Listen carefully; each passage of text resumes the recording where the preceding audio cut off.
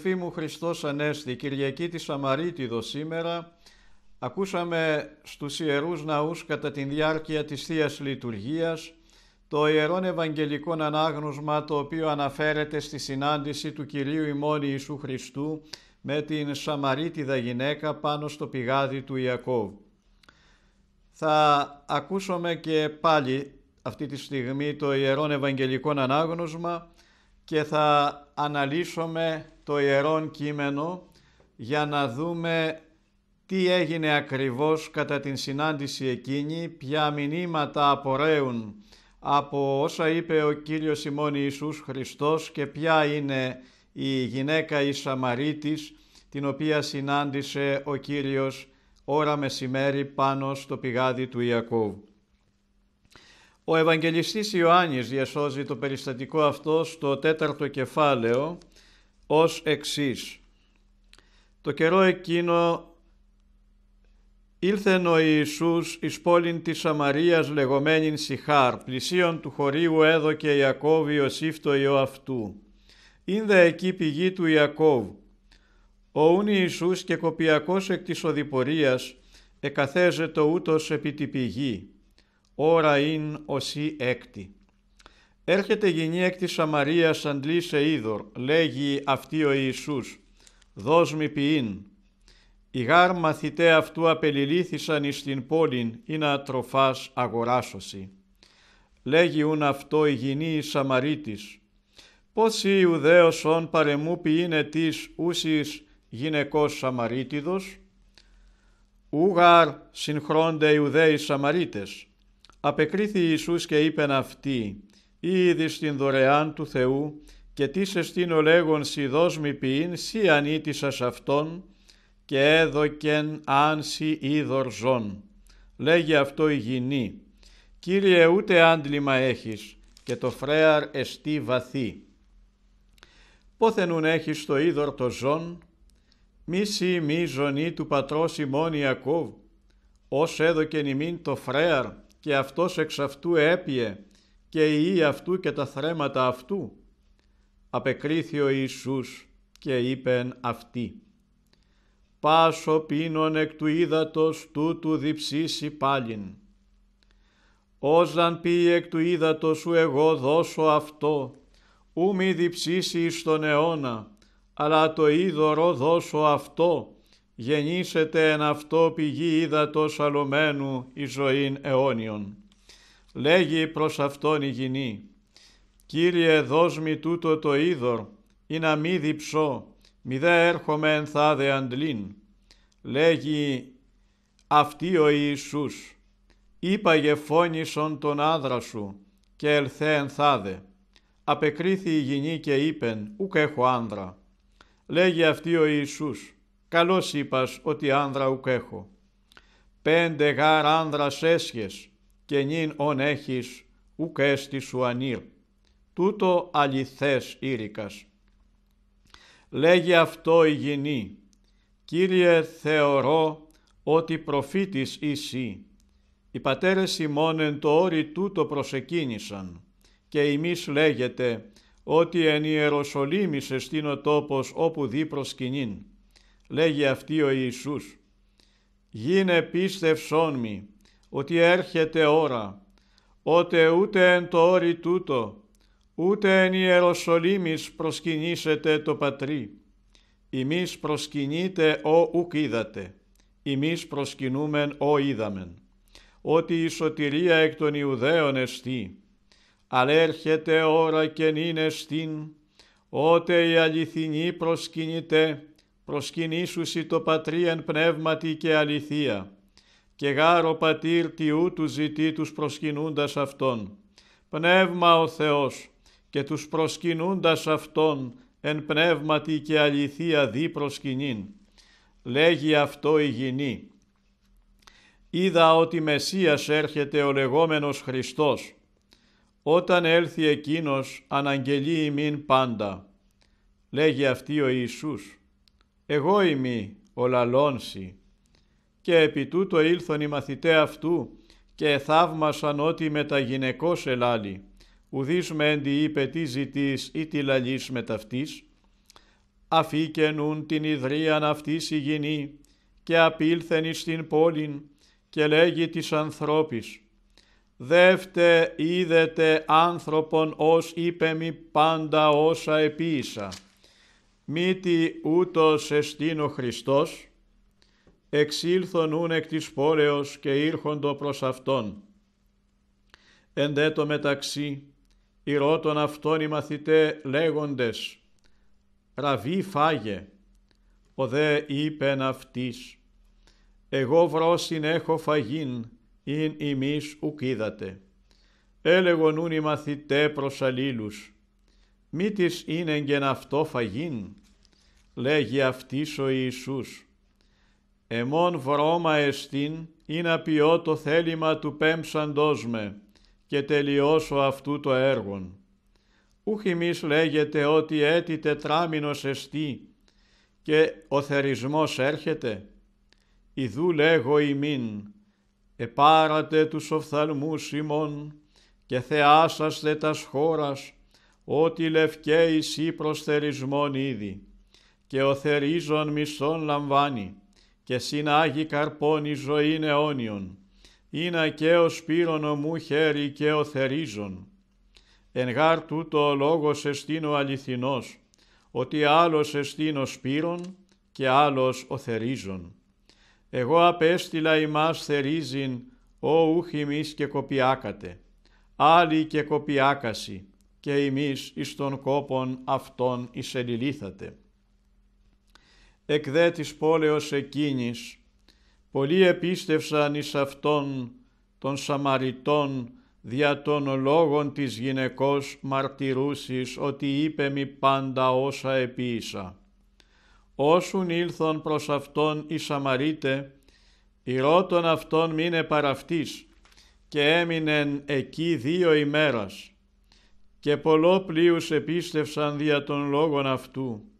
Τίτε γυναικοί έλεγον, ότι ουκέτι δια την συν λαλιάν πιστεύομεν, αυτή γαρ ακικόαμεν και είδαμεν ότι αυτός εστίν αληθώς ο σωτήρ του κόσμου ο Χριστός.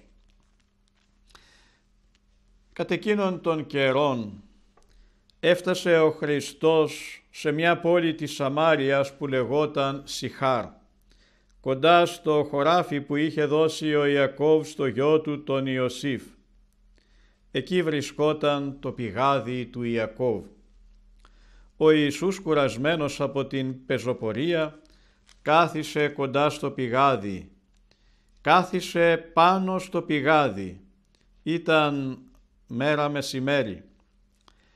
Οι μαθητές του είχαν πάει στην πόλη να αγοράσουν τρόφιμα. Έρχεται τότε μια γυναίκα από τη Σαμάρια να βγάλει νερό. Ο Ιησούς της λέγει «Δώσ' μου να πιω». Εκείνη του απάντησε «Εσύ είσαι Ιουδαίος και εγώ Σαμαρίτιδα. Πώς μπορείς να μου ζητάς να σου δώσω να πιείς νερό» Οι Ιουδαίοι με τους Σαμαρίτες δεν τα έχουν καλά, δεν έχουν καμίαν επικοινωνίαν. Ο Ιησούς της απάντησε «Αν ήξερες την δωρεά του Θεού και ποιος είναι αυτός που σου λέει «δώσ' μου να πιω», τότε εσύ θα του ζητούσες και εκείνος θα σου έδινε άλλο νερό, ζωντανό νερό. Του λέγει η γυναίκα «Κύριε εσύ δεν έχεις άντλημα, δεν έχεις δηλαδή κουβά και το πηγάδι είναι βαθύ. Από πού λοιπόν θα μου δώσεις να πιω νερό; Αυτό το πηγάδι μας το χάρισε ο προπάτοράς μας ο Ιακώβ. Αυτός ήπια από αυτό το νερό και η γη του και τα ζώα τα οποία είχε στη διάθεσή του. Μήπως εσύ είσαι ανώτερος από αυτόν τον Πατριάρχη; Ο Ιησούς της απάντησε «Όποιος πίνει από αυτό το νερό που σου ζητάω εγώ να μου δώσεις θα διψάσει πάλι. Όποιος όμως πει από το νερό που θα του δώσω εγώ δεν θα διψάσει ποτέ πια. Αλλά το νερό που θα του δώσω θα γίνει μέσα του μια πηγή από την οποία θα πηγάζει άφθονο νερό αιώνιας ζωής. Του λέγει η γυναίκα «Κύριε δώσ' μου αυτό το νερό για να μην ξαναδιψάσω και ούτε να έρχομαι εδώ για να παίρνω νερό κάθε μεσημέρι». Τότε ο Ιησούς της είπε «Πήγαινε να φωνάξεις τον άντρα σου και έλα εδώ». Η γυναίκα απάντησε «Δεν έχω άντρα». Ο Ιησούς της λέγει «Σωστά είπες δεν έχω άντρα, γιατί είχες πέντε άντρες και αυτός που είναι τώρα μαζί σου δεν είναι ο άντρας σου. Αυτό που είπες είναι αληθινό». Τότε του λέγει η γυναίκα «Κύριε βλέπω ότι εσύ είσαι προφήτης. Οι προπάτορες μας λάτρεψαν το Θεό σε αυτό το βουνό. Εσείς όμως λέτε ότι στα Ιεροσόλυμα είναι ο τόπος που πρέπει να προσκυνάμε τον Θεό. Πίστεψέ με γυναίκα, της λέγει ο Ιησούς. Είναι κοντά ο καιρός που δεν θα λατρεύετε τον Πατέρα, ούτε σε αυτό το βουνό, ούτε στα Ιεροσόλυμα. Εσείς οι Σαμαρίτες λατρεύετε αυτό που δεν ξέρετε. Εμείς όμως λατρεύουμε αυτό που γνωρίζουμε, γιατί η σωτηρία έρχεται στον κόσμο από τους Ιουδαίους. Είναι όμως κοντά ο καιρός, ήρθε κιόλας, που οι πραγματικοί λάτρεις θα λατρεύσουν τον Πατέρα με τη δύναμη του Αγίου Πνεύματος που αποκαλύπτει την αλήθεια, γιατί έτσι τους θέλει ο Πατέρας αυτούς που τον λατρεύουν πραγματικά, τους αληθινούς προσκυνητάς. Ο Θεός είναι πνεύμα και αυτοί που τον λατρεύουν πρέπει να τον λατρεύουν με τη δύναμη του πνεύματος που φανερώνει την αλήθεια. Του λέγει τότε η γυναίκα «Ξέρω ότι θα έρθει ο Μεσσίας, δηλαδή ο Χριστός. Όταν θα έρθει Εκείνος θα μας θα εξηγήσει όλα αυτά». Λέγει ο Ιησούς προς την Σαμαρίτιδα γυναίκα «Εγώ είμαι αυτός που σου μιλάει αυτή τη στιγμή. Εκείνη την ώρα ήρθαν οι μαθητέ του και απορούσαν που συνομιλούσε με γυναίκα. Βέβαια κανείς δεν του είπε τι συζητάς ή γιατί μιλάς μαζί της. Τότε η γυναίκα άφησε την ιδρία της στάμνα της, δηλαδή πήγε στην πόλη και άρχισε να λέει στους συντοπίτες της Ελάτε να δείτε έναν άνθρωπο που μου είπε όλα όσα έχω κάνει στη ζωή μου. Μήπως αυτός είναι ο Χριστός; Βγήκαν λοιπόν από την πόλη και έρχονταν προς Αυτόν. Εν τω μεταξύ οι μαθητές τον παρακαλούσαν και του έλεγαν «Διδάσκαλε φάγε κάτι». Αυτός όμως τους είπε «Εγώ έχω να φάω τροφή που εσείς δεν την αντιλαμβάνεστε, δεν την γνωρίζετε». Οι μαθητές έλεγαν μεταξύ τους «Μήπως του έφερε κανείς να φάει κάτι» αλλά ο Ιησούς τους είπε «Δικιά μου τροφή είναι το να κάνω το θέλημα του πατρός μου που με έστειλε και να φέρω σε πέρα στο έργο του. Εσείς συνηθίζετε να λέτε «Τέσσερις μήνες έχουμε ακόμα και έφτασε ο θερισμός, εγώ σας λέω». Σηκώστε τα μάτια σας και κοιτάξτε τα χωράφια. Είναι έτοιμα, άσπρισαν τα στάχια, είναι όρημα για τον θερισμό. Ο θεριστής αμείβεται για τη δουλειά του και συγκεντρώνει καρπό για την αιώνια ζωή έτσι ώστε μαζί να χαίρονται και αυτός που σπέρνει και αυτός που θερίζει. Γιατί εδώ αληθεύει η παροιμία, άλλος είναι που σπέρνει και άλλος που θερίζει. Εγώ σας έστειλα να θερήσετε καρπό που γι' αυτόν εσείς δεν κοπιάσατε. Άλλοι μόχθησαν και εσείς μπήκατε εκεί να θερήσετε το δικό τους σκόπο. Πολλοί από τους κατοίκους εκείνης της πόλεως πίστεψαν σε Αυτόν εξαιτίας της μαρτυρίας της γυναίκας της Σαμαρίτιδος που έλεγε «Μου είπε όλα όσα έχω κάνει στη ζωή μου». Όταν λοιπόν οι Σαμαρίτες ήρθαν κοντά του, τον παρακαλούσαν να μείνει μαζί τους και εκείνος έμεινε μαζί τους δύο ημέρες. Έτσι πίστεψαν πολύ περισσότεροι ακούγοντας τα λόγια του και έλεγαν στη γυναίκα «Η πίστη μας δεν στηρίζεται πια στα δικά σου λόγια, γιατί εμείς οι ίδιοι τον έχουμε τώρα ακούσει και γνωρίζουμε ότι πραγματικά αυτός είναι ο σωτήρας του κόσμου, ο Χριστός. Αδελφοί μου είναι ένα ωραιότατο κείμενο, ένα καταπληκτικό κείμενο, το οποίο έχει μια ζωντάνια και στο οποίο όταν εμβαθύνομαι, όχι μόνο όταν το διαβάσουμε, αλλά όταν το μελετήσουμε ουσιαστικά, μετέχουμε και εμείς σε αυτή τη συνάντηση γιατί κανένα κείμενο και πολύ περισσότερο το Ιερόν Ευαγγελικών κείμενο, όχι μόνο αυτό που διαβάσαμε, αλλά όλο το Ιερόν Ευαγγέλιον δεν ανήκει στο παρελθόν, αλλά ο Λόγος του Κυρίου έχει αιώνια ισχύ. Δεν είμαστε, έχουμε πει και άλλη φορά και στα κηρυγματά μας στους Ιερούς Ναούς, αλλά και ευκαίρος ακέρος το λέγομεν. Δεν είμαστε απλοί θεατέ ή ακροατέ του Λόγου του Θεού, αλλά συμμετέχουμε σε αυτό το προσκλητήριο της όντως ζωής που μας κάνει Εκείνος. Συμμετέχουμε στα δρόμενα, στα τελούμενα, μέσα στη Θεία Λειτουργία. Δεν παρακολουθούμε απαθώς όσα λέγονται, όσα γίνονται, αλλά συμμετέχουμε στις Ιερές Τελετουργίες και γινόμαστε όμεμοι και σύσσωμοι Χριστού. Αλλά ας δούμε το κείμενο και ας σταθούμε σε μερικά σημεία για να δούμε τι έχει να μας πει ο Ιερός Ευαγγελιστής διασώζοντας αυτή τη συνάντηση του Χριστού με τη Σαμαρίτιδα, ποια διδάγματα, ποια μηνύματα απορρέουν από αυτό το ωραιότατο, όπως είπα προηγουμένως, Ευαγγελικό ανάγνωσμα. Διαβάζουμε καταρχάς ότι έδι διέρχεσαι τον Ιησούν. Έπρεπε δηλαδή να περάσει ο Ιησούς από εκεί. Από τα Ιεροσόλυμα ο Χριστός πήγαινε στην Γαλιλαία. Οι ερμηνευτές λένε ότι θα μπορούσε να πάει και από έναν άλλο δρόμο.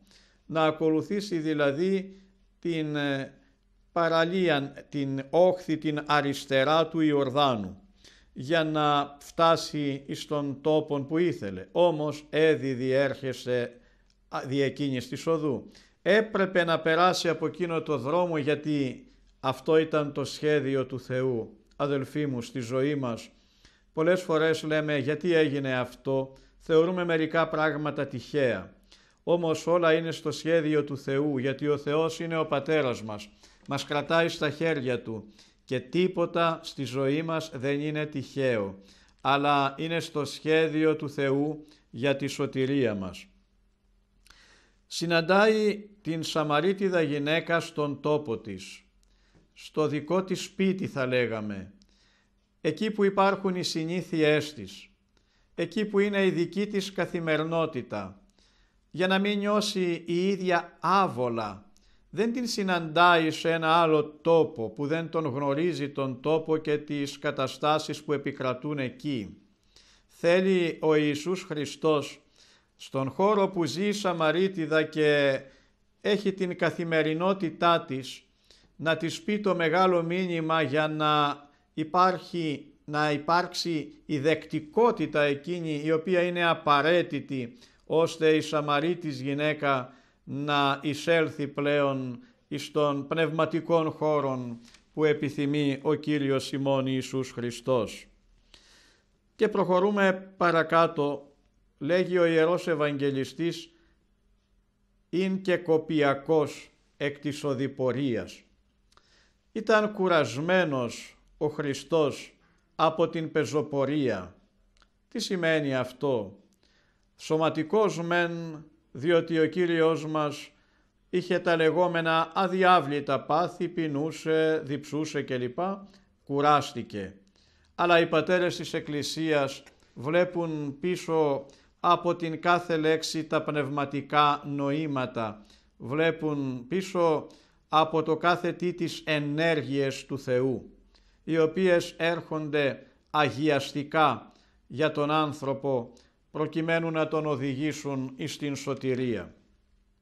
Ήταν κουρασμένος από τον αγώνα και την πεζοπορία για να βρει το απολολός πρόβατο. Γι' αυτό εκαθέζετο επί την πηγήν. Κάθισε πάνω στο πηγάδι. Δεν στάθηκε κάπου παραδίπλα. Γιατί άραγε τονίζει ο Ιερός Ευαγγελιστής πάνω στο πηγάδι κάθισε ο Χριστός. Γιατί θέλει να τον ταυτίσει με το είδωρ το αλόμενον η ζωή αιώνιον. Δεν είναι κάτι ξεχωριστό ο Χριστός από το είδωρ το αιώνιο, από την ζωή, από το φως. Αυτά είναι, ως λένε οι πατέρες της Εκκλησίας, ο Άγιος Γρηγόριος ο Παλαμάς, τα ονόματα του Κυρίου που ταυτίζονται, είναι οι ενέργειες όπως είπαμε προηγουμένως, ταυτίζονται με τις ενέργειες του Θεού. Κάθεται λοιπόν πάνω στο πηγάδι για να δηλώσει ο Κύριος ότι ο ίδιος είναι το είδωρ το ζών και προχωρεί ο Ιερός Ευαγγελιστής. Ώρα ειν οσί έκτη. Ήταν κατά μεσήμερο. Ο ήλιος βρισκόταν στο κέντρο του ουρανού. Εκείνη την ώρα λοιπόν που ο ήλιος έριχνε τις ακτίνες του στην κυριολεξία επάνω στη γη, εκείνη την ώρα έρχεται ο Κύριος να συναντήσει την γυναίκα της Σαμαρίτιδα. Γιατί ο Κύριος είναι το φως, είναι ο ήλιος της δικαιοσύνης και λάμπει και φωτίζει για να οδηγήσει τους ανθρώπους εις την θεογνωσία, εις την αιώνια ζωή και εις την βασιλεία Του. Έρχεται η γυναίκα και τη ζητάει να πιει νερό. Δώσ' μη ποιήν. Παράκλησης. Μια απλή παράκληση. Δώσ' μου να πιω νερό. Και εκείνη διαπιστώνει ότι δεν ήταν Σαμαρίτης, πως το δυνατόν να δώσει σε έναν Ιουδαίο, βρίσκονταν σε έχθρα μεταξύ τους όπως είπαμε και προηγουμένως διαβάζοντας το Ιερόν Ευαγγελικό κείμενο, βρίσκονταν σε έχθρα οι Ιουδαίοι με τους Σαμαρίτες. Η δίψα έχει και συναισθηματικό χαρακτήρα. Λέμε πολλές φορές διψώ για κάτι, που σημαίνει έχω έντονη επιθυμία να επιτύχω κάτι. Ο Κύριος μας έχει έντονη όχι μόνο την σωματική δίψα εκ της οδηπορίας, αλλά έχει έντονη τη δίψα να σώσει το ανθρώπινο γένος. Κύριε, δεν μπορώ να σου δώσω να πιείς νερό, γιατί δεν ανήκει στο γένος μου. Και εκείνος της λέγει «Αν ήξερες ποιος είμαι, εσύ θα ζητούσες νερό από μένα ή ήδη στην δωρεάν του Θεού.